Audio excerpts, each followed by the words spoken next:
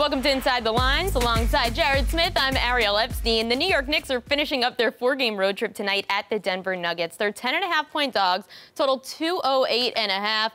Jared, the Knicks have won two of their last three. However, mm. going up against the number one defense in the NBA in the Nuggets, how did they continue their winning ways? Yeah, a little bit of a step up in competition tonight, but the Knicks, they've been hot, showing me a lot of intestinal fortitude on this road trip, winning two in a row. Big comeback in Sacramento the other night. Uh, I think they've got a chance to cover this game. Here's why. Denver coming off the the back-to-back. They're 0-2 ATS in that second game of the back-to-back this season. And the Knicks, a profitable team on the road as an underdog, 7-6 as the road dog this season. Elfrid Payton might provide a little bit of a spark again like he did uh, in the second half against the Kings. I think the Knicks do have a chance to keep this close. The late game tonight is the Sacramento Kings are three and a half point favorites at the Golden State Warriors. The total 210 and a half. However, this Sacramento Kings team is allowing just an average of 105 points per game. How are these teams going to put up points, Jared? Yeah, this is not a marquee matchup. I don't think anyone's going to be rushing the window to bet on this game. However, if you like offense, again, probably stay away from this one as well. The Kings play at the slowest pace in the league. The Warriors have obviously struggled to score, one of the worst scoring teams in the in the NBA. I, I am going to take the under in this game. It's a very low total, uh, but I'll dabble on the under here. And I like the Kings minus three and a half, the Warriors two and nine at home this season. All right, we're going to take a quick break, but when we come back, we're going to have our NBA championship picks. They say less is more, but we believe more is more. That's why we build FanDuel Sportsbook with more, more. More ways to bet. More ways to fund your account. More ways to cash in. And more ways to cash out. With payouts delivered straight to your bank account in as little as 48 hours. You want more? You got it. Join today and get a risk-free bet worth up to $500. FanDuel Sportsbook. More ways to win.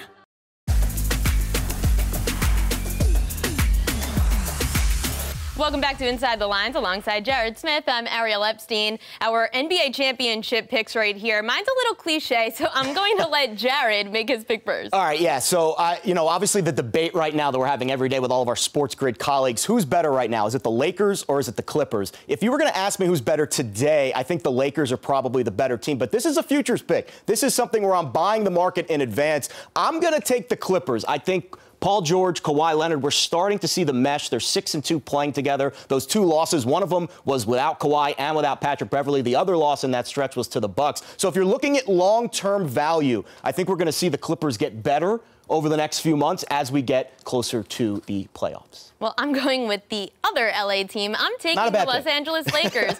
Here's why.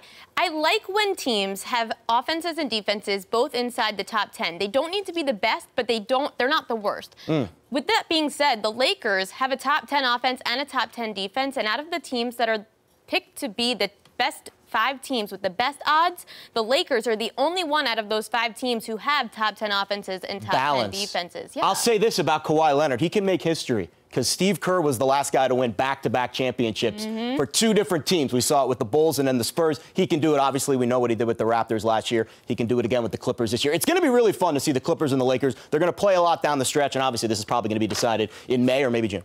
Yeah, and it's going to be interesting to see how that in-state rivalry goes. Those oh, yeah. two in teams city rivalry, in, building rivalry. rivalry. They play in the same building.